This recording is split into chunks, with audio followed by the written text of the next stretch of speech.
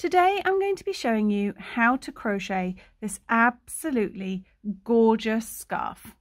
Now I crocheted this entire scarf, the entire thing, including weaving in my ends in under three hours. Now I wasn't rushing, I was just crocheting at my normal speed. I just happened to time myself out of curiosity and there is the proof that I did it in under three hours. It is an incredibly simple stitch and when using nice chunky yarn and a big hook, that is the trick to getting it to work up so quickly. So this scarf is crocheted using the Suzette stitch, a very simple, very quick stitch to make up. And in this video, I am going to teach you how to crochet that stitch, how to change color, and how to finish your scarf. So I'm going to take a quick moment to run you through what you need if you want to recreate this scarf exactly, but please know you can use any yarn and any hook size for your Suzette stitch scarf. To make this scarf, you're going to need three balls of a super bulky weight yarn. I personally am using the Scheepjes Namaste yarn, but you are free to use whatever yarn you like. You're also going to need a 9 millimeter crochet hook, a large eye needle, preferably one of these cheapy plastic ones with a big eye because this yarn is pretty thick, a pair of scissors, and just three hours of your time. So for my scarf, I started with the shade Locust and I used this ball until it was all gone. Then I crocheted the rest of the scarf with two balls in the colour Pigeon. This gives that really funky sort of modern colour block effect, but you are free to use any yarn, any hook size that you so wish. Let's begin. To begin, pop a slip knot onto your hook. Now the pattern multiple for the Suzette stitch is very simple. It's just an even number. So you can chain as wide as you want your project to be just make sure that it is an even number for the Suzette stitch to work out. Now for my scarf in particular, I chained 16.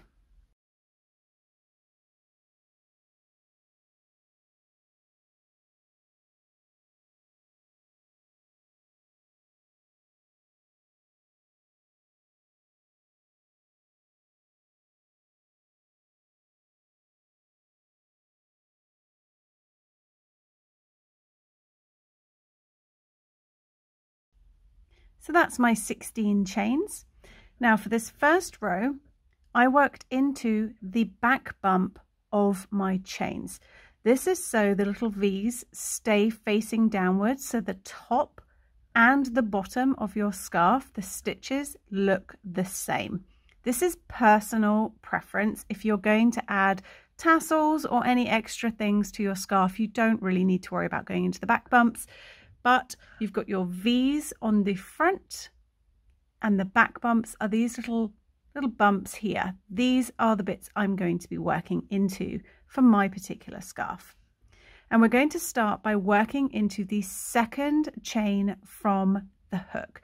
Now this loop on your hook doesn't count as anything. You only want to count these fully formed chains hanging down below. So one, two. I'm going to rotate it round so you can see the back bumps, one, two, and that's where I'm going to work. So into the second chain from your hook, I'm going to place a single crochet. Now with such a big hook, you might want to get your finger involved to actually get under. But I'm going to place a single crochet in there. Then place a single crochet into the remaining chains down the row. So just working under those back bumps, work single crochets all the way down.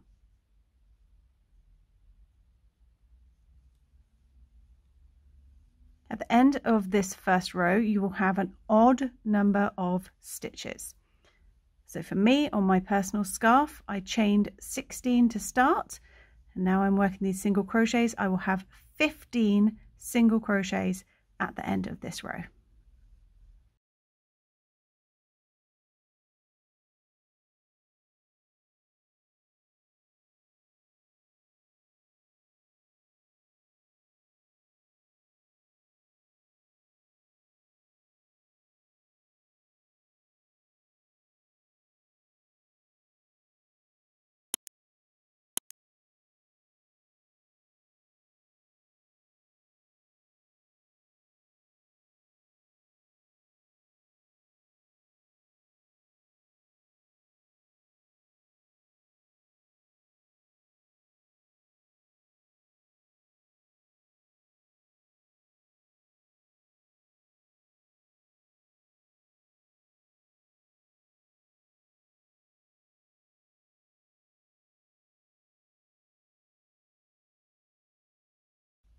Row two is the start of the Suzette stitch rows. Suzette stitch is very simple. It is just a one row repeat. So we're going to repeat this row all the way until the end. So to do the Suzette stitch, you're going to chain one and turn your work. Now into that very first stitch, so where you just chained from, that's the little chain we made, into this stitch right here, we're going to work a single crochet and then work a double crochet into that exact same stitch.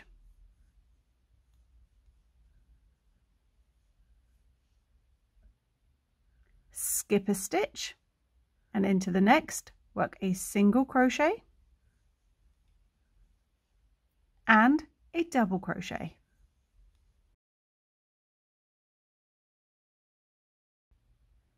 Skip a stitch and into the next single crochet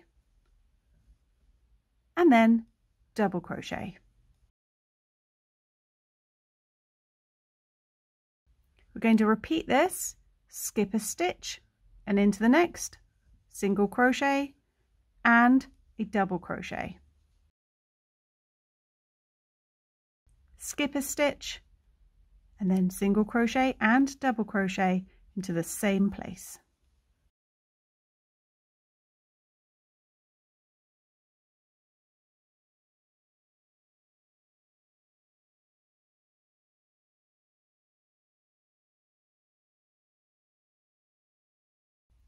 Now once you reach the end of the row,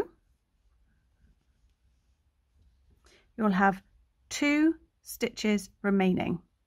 To end the row, skip a stitch and work one single crochet only into that very end stitch. So you're ending on just one single crochet stitch.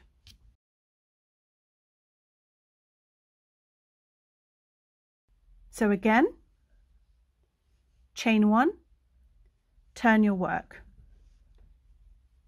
into that very first stitch where you just chained from, work a single crochet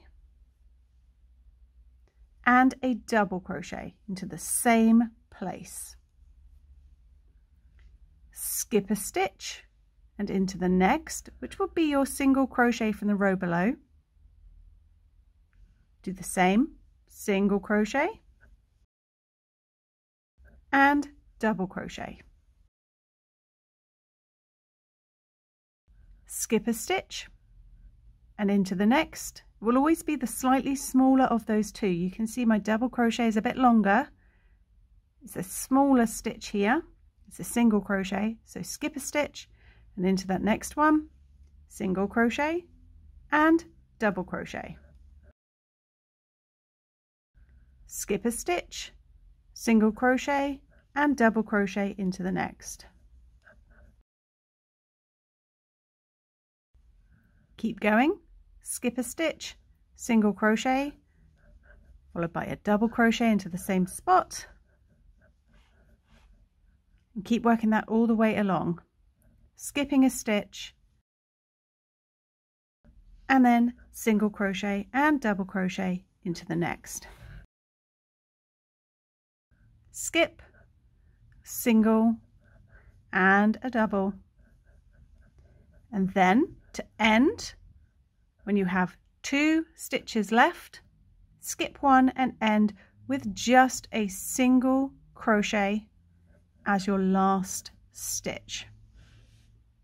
So you're going to repeat this row back and forth back and forth.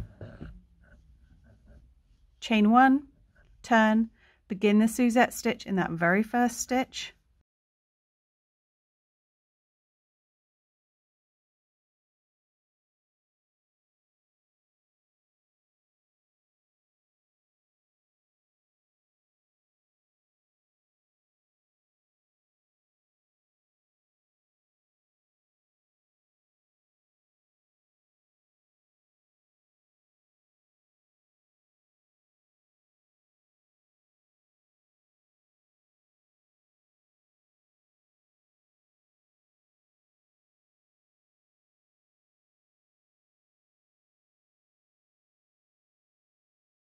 And then when you have two stitches remaining, work a single crochet only into that very last stitch.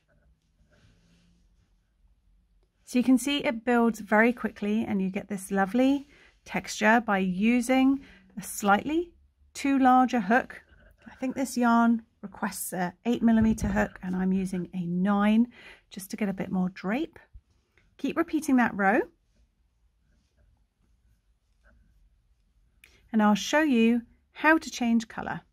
So for my scarf, I continued crocheting until I got to the end of this mustardy yellow gold ball of yarn. And then I switched to the pigeon, the cream colour, for the last two balls to finish my scarf. So I'll show you how you change colour. It's always done in the last stitch of the row. It's also the same way you would join a new ball of yarn for when you want to add in your second ball of the cream yarn. So the method is the same. So I'm reaching the end of my row here and I only have two stitches left, which means I'm ending on one single crochet. So I'm going to change colour in that very last stitch. So because it's a single crochet, I'm going to insert my hook, yarn over, draw through a loop, and then when I have two loops on my hook, at that point I'm going to stop. I'm going to drop the gold yarn and I'm going to bring in my new yarn, my cream. Leave a long tail that you can weave in afterwards. Put that over your hook.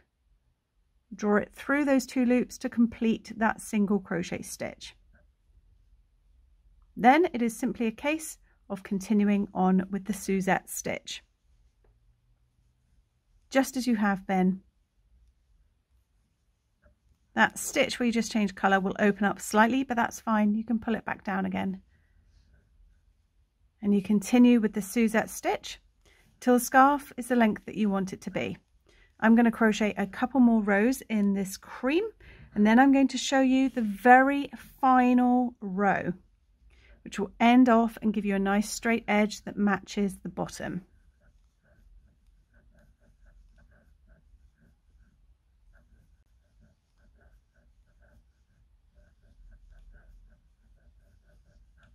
So I'm just finishing up here.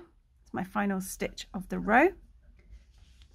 Now we are going to imagine that my scarf is the length that I want it to be. So the very final row, we want to be nice and straight so it matches the bottom. And obviously you can see at the top here, it's a little bit of a wavy top edge. So once your project is the length that you want it to be, the very final row we're going to do is going to be a single crochet row, just to neaten and square everything off. So we're going to chain one and turn. Then work a single crochet into that very first stitch where you just chained from. And we're going to pop one single crochet into each stitch along. So under each stitch, work a single crochet. Just single crochets.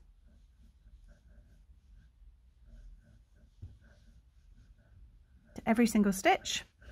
Now I had 15 single crochets in my beginning row from my chain of 16 and I therefore know I will have 15 single crochet stitches worked into the top along here. So if you need to count them just to make sure you're staying on track, you will have 1, 2, 3, 4, 5, 6, 7, 8, 9, 10, I should have 15. If I haven't, we're in trouble.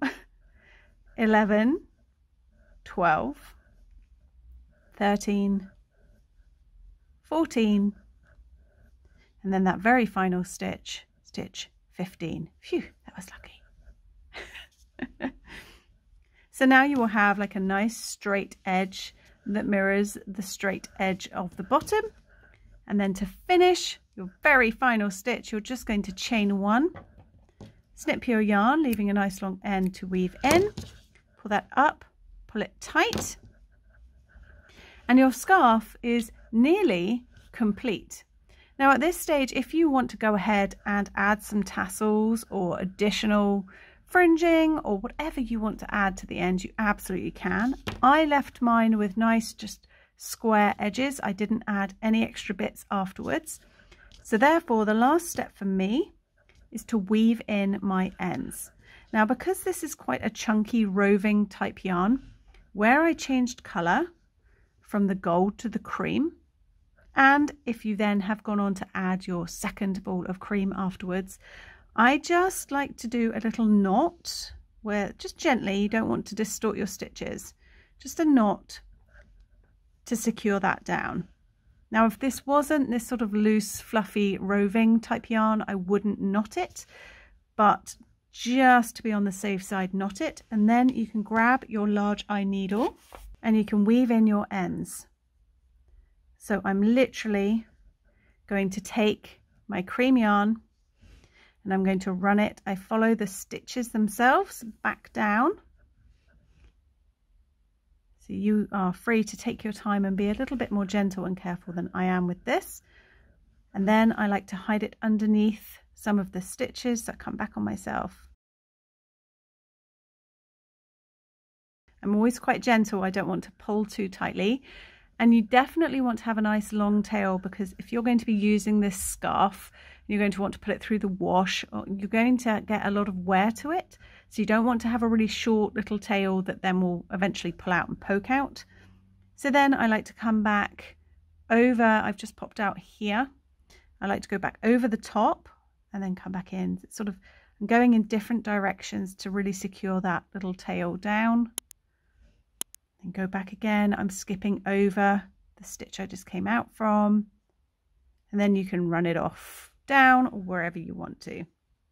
And you want to do this for every single yarn end that you have. You won't have many if you're using the same yarn and following my colorway, but you will have some. So you want to run them off down and the same with your other yarn ends and of course the one you started with. So you want to securely stitch all of these in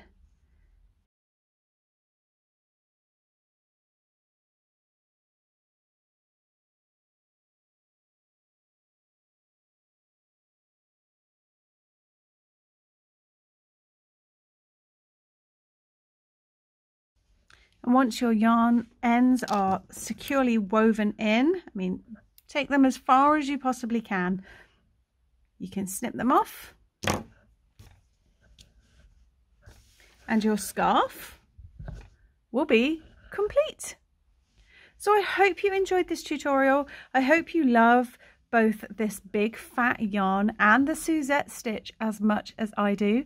If you found this video helpful, please do give me a big thumbs up. And until next time, happy scarf wearing. Bye.